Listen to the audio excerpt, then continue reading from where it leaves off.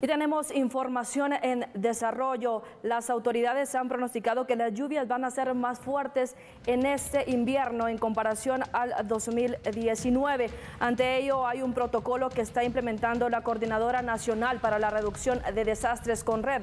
La periodista Magalí Alvarado se ha trasladado a este lugar para darnos todos los detalles. Magalí, buenos días, te escuchamos. En efecto, compañeros, en el estudio central nosotros le vamos a brindar información sobre el protocolo que va a estar siguiendo en este caso la Conred sobre la temporada de lluvia, ya que tomemos en cuenta que durante los últimos días se ha visto en mayor cantidad la lluvia sobre el territorio guatemalteco y por esta razón nos encontramos con David de León, vocero de Conred, para que David nos pueda ampliar más detalles sobre específicamente el protocolo que se estará siguiendo para ayudar tanto también a los guatemaltecos que se ven afectados por las fuertes lluvias, David.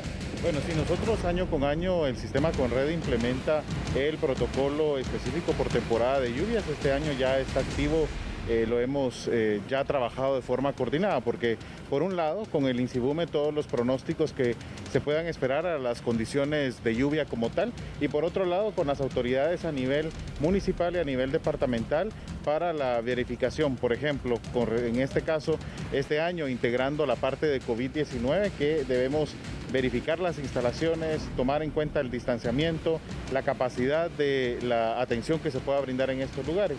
Y luego también la situación de cómo se está marcando o cómo está iniciando la temporada de lluvias de acuerdo con las diferentes regiones del país. Pero en estos momentos podríamos hablar ya que en, las, en esta semana se estaría presentando ya el inicio de la estación lluviosa en el área de la meseta central. La próxima semana se esperaría en áreas del de, eh, nororiente, el litoral pacífico y terminando en el departamento de Petén en la última semana de mayo y que eh, con esto pues también finalizaría la temporada de incendios forestales que en aquel lugar todavía están activos o hay eh, probabilidad que puedan ocurrir incendios todavía, pero hasta este momento tenemos este protocolo activo, ya están verificados los diferentes centros a nivel nacional que pueden funcionar como albergues y también se tiene la coordinación con el INSIBUME al monitoreo de, o pronósticos que podamos tener.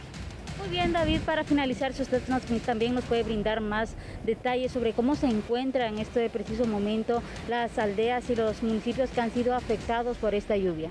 Bueno, hemos seguido eh, y hemos dado el seguimiento respectivo con las autoridades municipales, la entrega de la ayuda humanitaria también para las personas. Hay un proceso de atención que va, por un lado, eh, la respuesta como tal, pero luego también iniciar los procesos de recuperación de, algunas comunidades.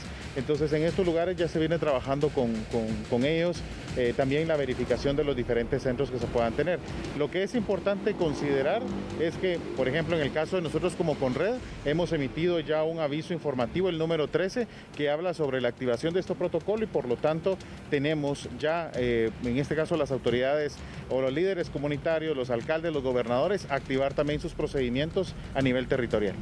Agradecemos cada detalle brindado, David, amigo televidente. De esta forma le damos a conocer el protocolo que se va a estar siguiendo para esta temporada de lluvia. Ya como nos acaba de indicar también David Erión, se prevé que estas aumenten en los próximos días. Con imágenes de Brandon Galeano, retorno al estudio principal.